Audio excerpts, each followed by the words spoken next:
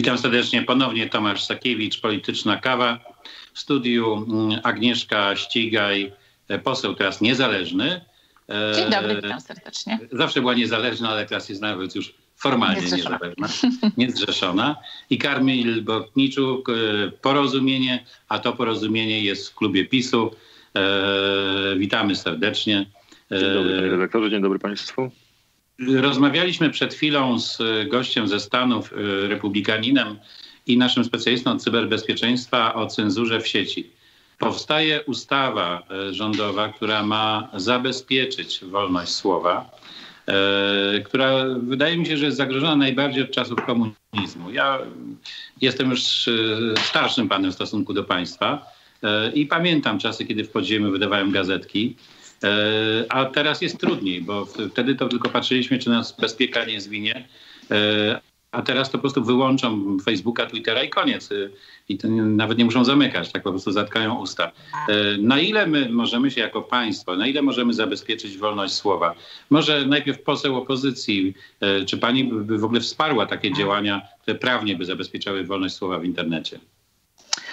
E, panie redaktorze, jest to bardzo ryzykowny projekt. Mam duże wątpliwości co do projektów, które są, mają być zgłaszane i dotyczą tak zwanego zabezpieczenia wolności słowa, bo bardzo łatwo przekroczyć granicę, w której ta wolność słowa będzie ograniczana w sposób rządowy e, czy w sposób regulowany ustawą. Więc e, z całą pewnością te przecieki, które pojawiły się dotyczące tego projektu, który w tej chwili nie wiem, czy on ma być już procedowany, czy, czy to jest oficjalny projekt rządowy, na razie nie było jeszcze żadnego, żadnej pracy parlamentarnej nad tym projektem. On tak naprawdę przykłada kary za tak wątpliwe e, sformułowania i moim zdaniem nie jest to dobry projekt. Oczywiście, że e, ważna jest wolność słowa w internecie, ważna jest wolność słowa w ogóle i będę zawsze stała na jej straży, natomiast ograniczanie czy, czy, czy karanie ludzi za bardzo subiektywne podejście do wolności tego słowa no stwarza poważne ryzyko, że będzie to mocno nadużywane. W obecnym czasie mamy często w,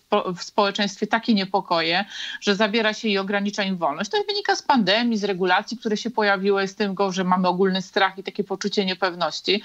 Bardzo często widać to bardzo duże niezaufanie, brak zaufania dla y, władzy, więc wprowadzanie w takim stanie, w tej, w tej sytuacji, w której w tej chwili mamy w państwie, kiedy nie uporaliśmy się z problemami i z zbudowaniem zaufania do władzy, wprowadzanie ustaw, które no, są wątpliwe, jeśli chodzi o zapisy dotyczące, czy będzie to ograniczanie e, wolności, czy raczej właśnie pójdziemy w stronę swobody e, wyrażania myśli w internecie. Uważam, że nie jest to dobry czas, ani nie jest to dobra propozycja w tym momencie.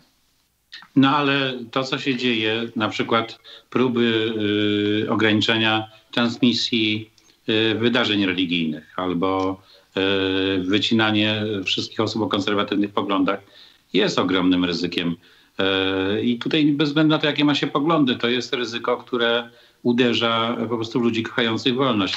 Ale może... panie redaktorze, wie pan też, że mamy problemy i całkiem niedawno o tym rozmawialiśmy, jeśli chodzi o y, taką mowę nienawiści, o używanie dużej ilości hejtu. I też były wtedy apele znowu z jednej strony do tego, że ci, którzy czuwają nad tym y, bezpieczeństwem, cyberbezpieczeństwem, czy ci, którzy są właścicielami portali społecznościowych, na których się pojawia y, no, dużo mowy nienawiści, ale czy też dużo takich sformułowań, które godzą w, w, w wolność człowieka, to mówiliśmy o tym, jak jaki sposób prowadzić to, aby tego nie było. Więc to jest taki aspekt naprawdę na szeroką dyskusję publiczną, na być może debatę, poważną debatę e, z, e, społeczną. A gdzie tam, jaką jest... debatę? Wyłączą wam komunikatory w Sejmie i nie będzie debaty. No nie, to, to, to, to już chyba, chyba nie A jest Sprawdzała tak. pani, jakie ma pani aplikacje, bo, bo, bo któraś z firm Big Data po prostu wam wyloguje was i koniec i skończy się głosowanie. Panie redaktorze, ja nie jestem, nie jestem specjalistą od e, systemów informatycznych i aplikacji. Nie, ja tylko na tyle jestem w stanie się posługiwać prostymi aplikacjami. Do tej pory nie doświadczyłam żadnego To, że my rozmawiamy może się skończyć, bo nie jesteśmy właścicielami tych e, oprogramowań i urządzeń. Tak oni nas mogą w tej chwili wyłączyć mhm. i będzie posprzątane. Ale, ale to też nie ma obowiązku na przykład korzystania z różnych oprogramowań, które bardzo jednoznacznie no, są zobaczy pani, jak bardzo trudno jest to ominąć. My w tej chwili budujemy komunikator, musimy też stawiamy własne serwery na wszelki mhm. wypadek, żeby nam nie wyłączyli. E, jest problem ze wszystkim. Tak? Myśleliśmy, gdzie nas można wyłączyć, to problem jest w każdym momencie. Tak? E, łącznie z oprogramowaniem, łącznie z serwerem, łącznie e, z domenami. No wszystko może stać się problemem. Kamil Brotniczuk, jak się zabezpieczyć przed takimi działaniami cenzorskimi? Czy państwo może w ogóle trochę w tym pomóc? No to jest bardzo poważne wyzwanie i to jest wyzwanie, które ostatnie tygodnie pokazały, jak, jak jest ważnym w perspektywie właśnie wolności słowa i jej obrony i zupełnie na nowym polu, którego jeszcze kilka lat temu zupełnie byśmy nie dostrzegli w związku z rozwojem e, zarówno technologii, jak i z faktem, że społeczeństwa poszły bardzo intensywnie w social media i w tych social mediach e, toczy się bardzo poważna debata publiczna. Y, mamy de facto media, które są poza jakąkolwiek kontrolą państwa. To nie jest telewizja, która musi uzyskać koncesję, która ma na całą Krajową Radę Radiofonii i Telewizji. Jeżeli złamie jakieś podstawowe standardy, to wiadomo, że można się komuś na to poskarżyć i ktoś będzie wyciągał w stosunku do telewizji, która zachowała się w sposób niewłaściwy konsekwencje, oczywiście działając w interesie publicznym. My mamy do czynienia z prywatnymi firmami, z wielkimi koncernami, których właściciele też mają swoje poglądy polityczne y, i które są zdecydowanie mocniej reprezentowane niż poglądy konserwatywne czy szeroko rozumiane prawicowe. E, I musimy się próbować z tym problemem zmierzyć. Ja nie jestem w stanie odpowiedzieć Państwu teraz na pytanie, czy ta ustawa, inicjatywa chyba kolegów z Solidarnej Polski, która pojawi się. Ona jest chyba na wyższym poziomie, na, na poziomie ministerstwa i ma mieć cechy rządowej. Tym bardziej z tego, co wiem, to Mateusz Morawiecki pewne działania, jeżeli chodzi o zabezpieczenie wolności słowa osobiście poparł, bo takie wypowiedzi były. Oczywiście jeżeli będzie to inicjatywa rządowa, to zgodnie z tą ścieżką ustawodawczą, które obowiązują projektów rządowych, będzie i ocena skutków regulacji, będą szeroko prowadzone konsultacje, więc będzie zdecydowanie łatwiej o tym rozmawiać, kiedy będziemy wiedzieli, kiedy będziemy wiedzieli, z czym mamy do czynienia już w szczegółach, niewątpliwie jakaś potrzeba reakcji na to, co się dzieje, istnieje. Jeżeli prywatna firma jest w stanie zablokować konta urzędującego prezydenta Stanów Zjednoczonych, jednego i największego mocarstwa światowego w obecnym układzie geopolitycznym, no to chyba nie, no, no nie można nawet sobie wyobrazić lepszego przykładu na to, że coś jest nie tak, że coś poszło nie tak. Niezależnie no, tam od jest jeszcze kolejne zagrożenie. treści. Y, tam y, mówił, mówił nam, y, co uważa za słuszne republikanin, szef klubu w Michigan, że za częścią tych prywatnych firm już mogą stać chińskie pieniądze, tak? czyli, czyli y, obce mocarstwo poprzez prywatne firmy zaczyna decydować o amerykańskiej demokracji. I to tak, zupełnie to jest, brutalnie, wyłączając To jest kolejna odsłona tego problemu i chyba nawet zdecydowanie ważniejsza i bardziej niebezpieczna, no bo to, że właściciel może mieć jakieś poglądy i może to przez swoje prywatne sympatie kogoś bardziej wspierać, a kogoś blokować, no to no można powiedzieć jest to rzeczywiście groźne, ale nie aż tak, jak poprzez wpływanie właśnie obcego kapitału obcych służb na treści, które mogą y, wpływać na opinię publiczną w krajach demokratycznych. No bo to, jakby, to, to jest najprostsza hmm. droga do tego, żeby kraje niedemokratyczne demokratycznymi mechanizmami niszczyły, osłabiały y, kraje hmm. demokratyczne, a my jesteśmy w tym kręgu krajów demokracji i chcemy w nim być i, chce, i musimy się bronić przed tym najzwyczajniej w świecie możliwymi, wszystkimi możliwymi sposobami, które będą skuteczne w kontekście tej geopolityki i zaangażowania, możliwego zaangażowania obcych państw. To jest jeszcze zdecydowanie zdecydowanie bardziej niebezpieczne i zdecydowanie bardziej ważne. Moim zdaniem trzeba budować jednak jakieś rezerwy e, informatyczne, e, czyli również serwerownie, hostingi, e, możliwość rejestracji domen, e, aplikacji programowych e, w ramach na, e, narodu, w ramach państwa i zabezpieczyć to prawnie, że gdyby się władza zmieniła, to jednak e, e, ta zmiana władzy nie musi oznaczać tego, że ona wyłączy przeciwnika. E, czyli można stworzyć jakieś ciała, instytucje, no tak jak Krajowa Rada, choćby lepiej, gorzej działająca, ale, ale działająca, tak? która jest trudna do odwołania. Zabezpieczyć to konstytucyjnie, czy, czy, czy większością odpowiednią sejmową. I w ten sposób bronić tych rezerw, które de facto są, będą ostatnim obrony wolności słowa, bo dzisiaj bez internetu trudno mówić o jakiejkolwiek swobodnej debacie. No przecież my w tej chwili rozmawiamy przez internet. Nie ma tu innych zjawisk niż zjawiska internetowe w naszej rozmowie i to wszystko mogą nam firmy z big data w każdej chwili um, uszkodzić. E, pa, pani, pani poseł, y, czy pani by do takiego projektu trochę ponadpartyjnego przystąpiła? To znaczy, czy pani by y, zgodziła się poprzeć projekt, który by trochę ponadpartyjnie zabezpieczał możliwość e, swobodnej debaty, również o te rezerwy narodowe, bo państwo polskie może stworzyć wielkie ser serwerownie, których nie da się wyłączyć. To, to już jest e, w zasięgu nawet średniej wielkości firm, nie tylko wielkich, bo, bo to się zmienia bardzo szybko. E, może stworzyć odpowiednie aplikacje oprogramowania, hostingi i zabezpieczyć się. Pani by się włączyła w taki Panie redaktorze, ja z wielką przyjemnością włączyłabym się i włączę się na pewno w projekt, który będzie bezpartyjny, ale do tej pory jakby, czy ponadpartyjny, nie to, że jest bezpartyjny, tylko ponadpartyjny, ale jak do tej pory w Sejmie mieliśmy mało takich e, projektów, e, ja nawet nie potrafię wymienić takie projekty, które się pojawiały, e, chociaż wielokrotnie ja osobiście apelowałam, Kukiz 15, Koalicja Polska o to, aby o pewnych kwestiach, jak na przykład ochrona zdrowia rozmawiać ponad podziałami politycznymi, czy właśnie cyberbezpieczeństwo, bo to przecież nas wszystkich dotyczy dotyka.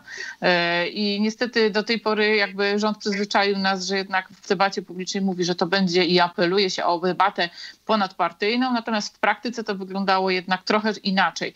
Więc mam te e, obawy i nawiązuję to do tego braku No ale nie bez winy ale... opozycji, no nie oszukujmy się. E, większość opozycji w ogóle nie traktuje debaty serio. No, zawsze jest to powód tylko i wyłącznie do rozruby.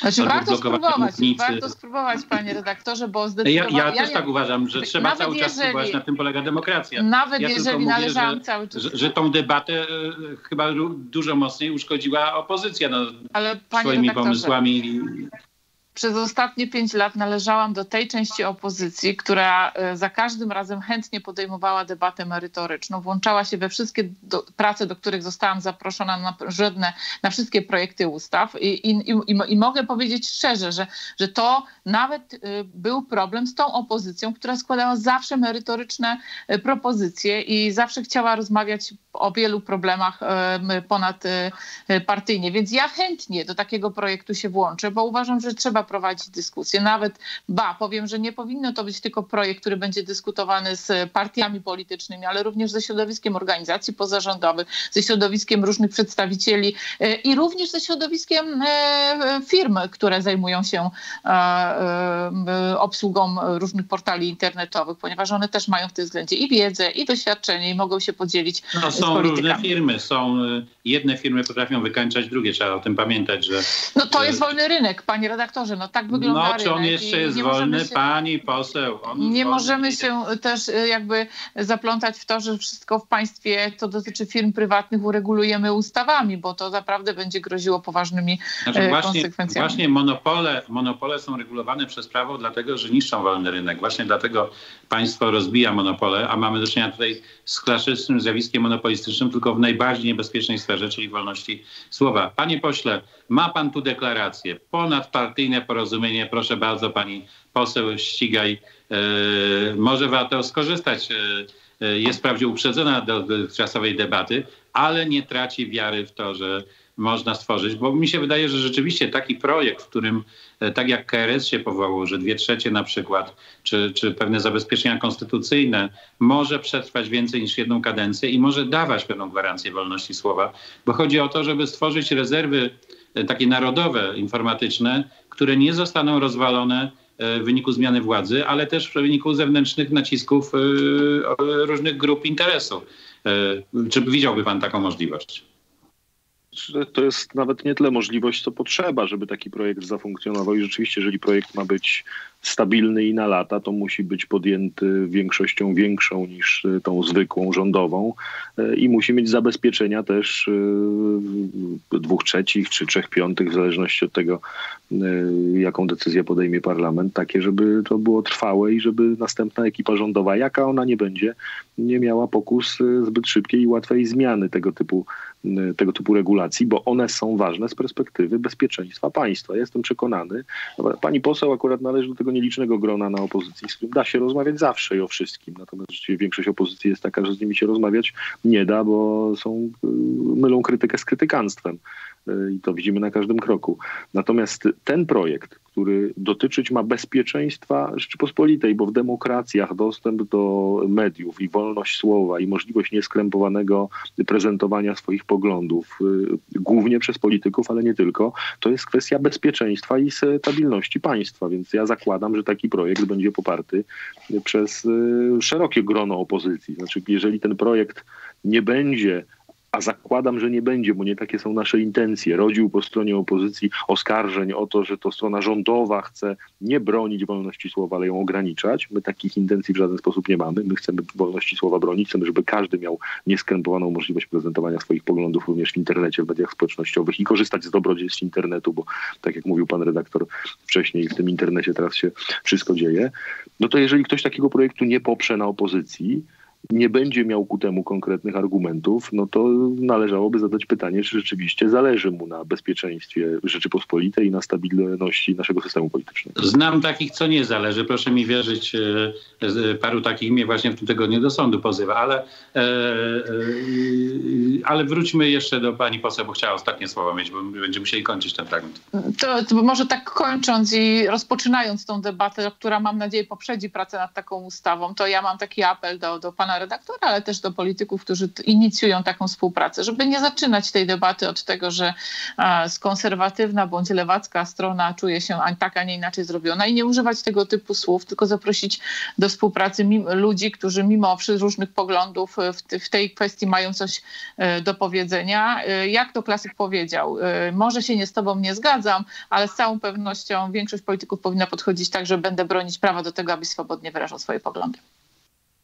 No, jak Państwo widzą w moim programie, e, nawet pani poseł miała więcej chyba czasu niż pan poseł, także tutaj pełna wolność. E, no i tak zbudujmy to zabezpieczenie dla wolności słowa.